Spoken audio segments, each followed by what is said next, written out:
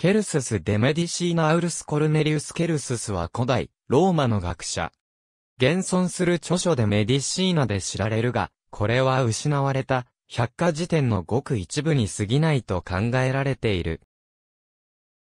医学論は、食事療法、薬学、外科的治療その他に触れたごく初期の重要な資料であり、ローマ世界の医学知識を知る上で最上の資料の一つである。彼の百科事典の失われた末期は、おそらく農業、法律、修士学、軍事などを扱っていたと思われる。ケルセスの生涯に関しては全く知られていない。彼のプラエノーメンすら、不確定であり、アウレリウスとも、アウルスとも言われるが、後者の方が、より信頼性が高い。医学論の、ちょっとした記述から、彼がアウグストゥスから、ティベリウスの時代の人物であることが推測されている。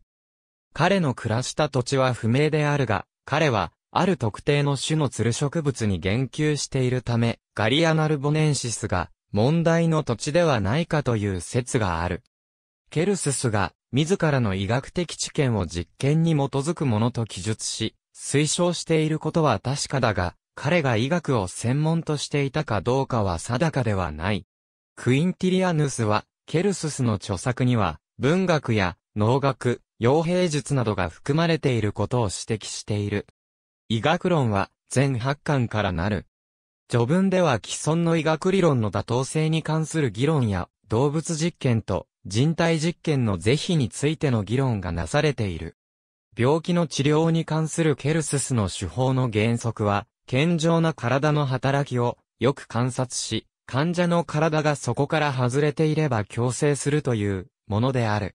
彼は発熱を病的な何かを体外に追い出そうとする自然の作用であると認識しており、それを闇雲に止めようとすることはかえって健康に害があると考えていた。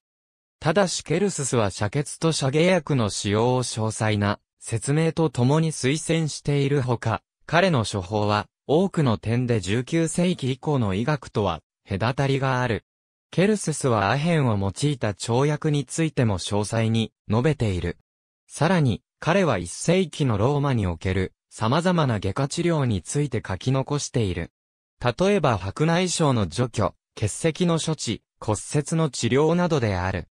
ヒポクラテスは悪性の腫瘍をカルシノーズと呼んだが、それをキャンサーと訳したのはケルススである。ケルススの著作が最初に印刷されたのは1478年のことである。彼の文体は、アウグストゥス時代が生んだ最上の作家による成長さと優雅さの体現であるとされ、長らく尊重されている。ラオディケアのテミソン紀元前1世紀の医師。ありがとうございます。